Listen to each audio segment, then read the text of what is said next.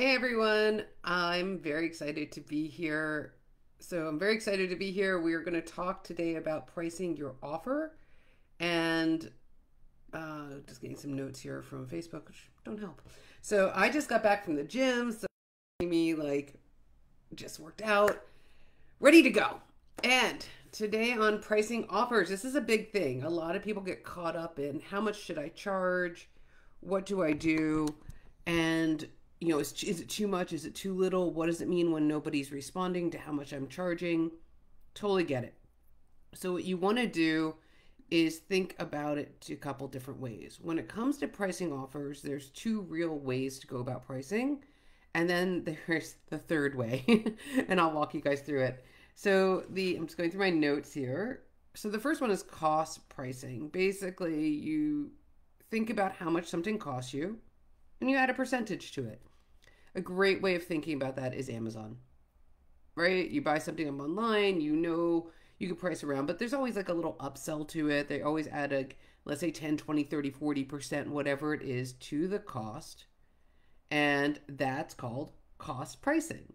So when it comes to the world of online entrepreneurs and coaching, we really don't often need to do that. Like most of our items are digital, right? So there's really not a cost. Maybe it's the price of the program that you bought, but you can factor that in, but then you extrapolate it over how many people you want to work with and whatever.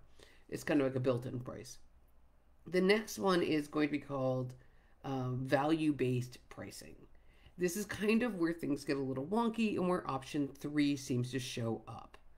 So, value based pricing is the value the customer places on an item, not you, the customer.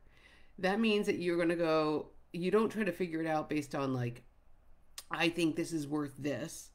That's worth, that seems to be option three, but it's really more what a client says the value is. And the best way to think about that is through real estate. So if you have a house and you put it up for sale and you want to get a million billion dollars for it, but every house in the neighborhood is going for 400,000 and you've listed your house for a million, even if your house is made of solid gold, the chances are you're not going to get dollars because the value in that area as determined by the client is less than what you seem to think it is. And real estate really is a perfect example of that. So that's going to be called value based pricing. The customer determines the value. The other one is going to be cost pricing. That's where the actual product cost determines the price that you're going to make it. And then we have the third option. So this seems to be the illegal option here in the world of coaching, which is I want to make X amount of dollars. How many people do I need to work with to get that? That's my price. So let's do some math. So let's say I, I actually wrote this out. So let's say you want to make $120,000. People seem to be obsessed with six figures. I don't know why. They've done studies, and basically, if you make, I think it's like 70K, there's really not a vast difference, but whatever. So let's say you want to make $120,000 a year.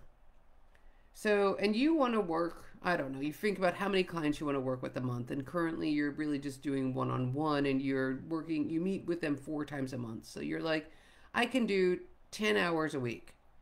By the way, you might want to look at that and say to yourself, why am I only working 10 hours a week?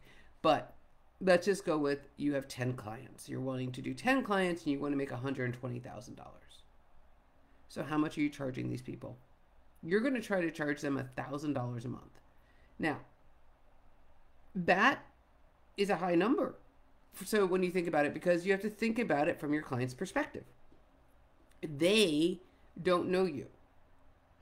They don't know what you can do. And unless your offer comes with, like, um, I don't like to say guarantees because honestly, what can you truly guarantee? Like, unless you actually, unless the client's going to do the work, how can you guarantee a result? Right? So the guarantee is on them. Like, are they going to actually do it? Are they going to step forward and do the work? But so if you're asking someone for a thousand dollars, they're going to want to know like who you are, what your background is, what they're going to be getting out of this. And here's a fun thing you have to find 10 more people just like them. So you need to find 10 people who are willing to give you a $1,000 each a month. And you need to retain them. So when we're thinking about that sort of thing, all of a sudden it's like, wait a second, I only have a program that I want to do for like three months. So that means that you have to, at month two, start prospecting again, trying to find them. So you have a three month program. That means every, basically, you're with people for one month and then you're immediately into prospecting again. So maybe that's part of the other 30 hours a week that you could be working with clients. Instead, you're going to be prospecting. So we have 10 hours of client, 30 hours of prospecting, and you're making 120 a year, but you are ki- killing yourself to get there. Okay? That's an option. Alternatively, you can look at what is really going on.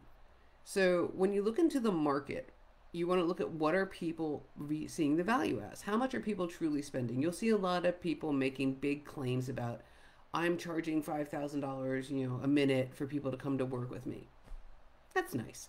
How many people are doing that? Like no one. Like or they'll say like I've made $50,000 this week. Have you? No you haven't. Like just don't believe any of that. Don't believe the fluff. Look at what people are truly doing. So most people in the coaching world are not hitting six figures, guys. That's reality. Most people are not hitting six figures. And if that's not something that you absolutely need in order to have a great life, like you're not willing to kill yourself to get there, then reframe it. Maybe you could also look into doing group programs. They're fantastic.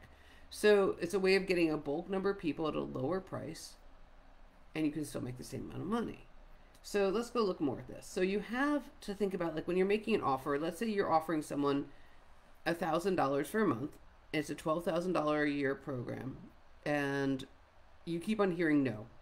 Everyone's like, no, no, no, no, no, no, no. Hear it from the market. The market's telling you that's not good. It's too high.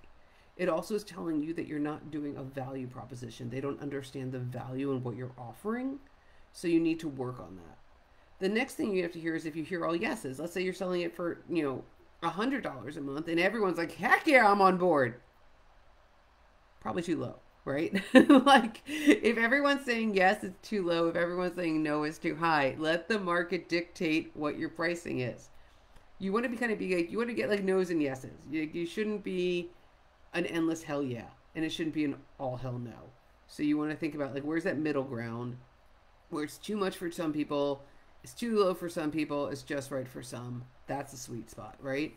That's how you're going to figure it out. And the other thing you want to think about is can I deliver this value? So you might say to yourself, I believe my program is worth a million dollars. I believe it's worth a thousand dollars a month. Okay.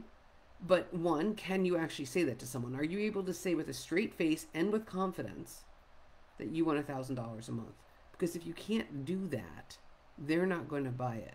Because one of the things we talk about in class is about confidence and how confidence is a key component in selling. You have to be confident in what you're saying. And if you are not confident and you say things like, it's a thousand dollars a month or a thousand, nobody's buying it from you because they don't believe that you know that this is actually worth that. Probably because you don't, because you're just still testing out the waters, which is fine to do. Test the waters. You can do tiered pricing and see which one lands and make different offers at each tier lower, middle, which is probably the one that you really are thinking about doing, and high, which is like if somebody does it, that's like a miracle. So you want to think about tiered. You want to think about if you can deliver the value that you're asking for. Can you actually say it with confidence? And I want you to really remember let's go back to real estate. Just because you think it's worth it doesn't mean anyone else does. I know that's a harsh thing to hear. But just because you think it's worth it doesn't mean anyone else does. That's the real estate understanding of pricing. You need to look at what do others see the value as. It's not about your time that you put into it. It's not about your energy that you put into it. It's about what they perceive value because people pay for that perception. So you need to look at that as well. And then I also want you to think about like what does it take to actually solve this problem from their perspective? Like if you offer an, a one hour rate, can you really solve someone's problem in one hour? Are you shortchanging them? I mean, is that really good? Think about that. Is it better for you to offer a course? Do you have a course? If not, you should jump into the signature course. We're teaching with Harley's teaching that. You know, but if you have a signature course and you know that it takes three months to get through it, and your offer is for one month, because you want to price it so that people can afford it for a month, are you doing anyone any favors? No, no, you're not. Because you know they need it for three months, so maybe you can offer it for less for three month package. So think about that as well. Like, what are they getting out of it? And where can you price it so that it actually makes sense for the consumer? Because they're the ones who are going to give you the perceived value. Make sure that you're expressing the actual benefits to what you're offering so that they understand you're communicating the value. And then you want to be able to confidently say the value. So you need to have those components in place in order to really, really make a strong offer. I think, ah, the last one. Sorry, I did almost forget. So the last thing to remember is your audience. A lot of times you guys, you guys are so like such good heart-centered people and you want to help people that are struggling. Like you're thinking, I really want to help, you know, impoverished single moms who just got out of an abusive relationship. And I know that I can help them get into the life they want. I've done it for myself. So therefore, I really want to help somebody else do this too. And I know I would have paid a $1,000 a month for this.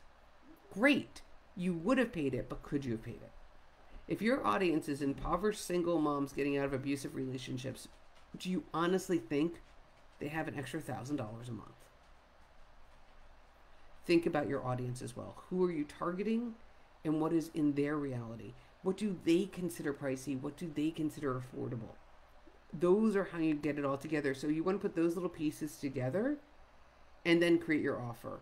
So look at what the market's offering, not what people are saying, but what's really out there. Um, you can, if you want to, you can actually go to people's different like that you admire or people that you see as peers and go do a, a session with them not a paid session an enrollment call and see what their offer is.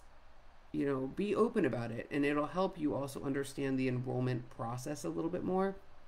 You can do that. You need to really see what people are really doing.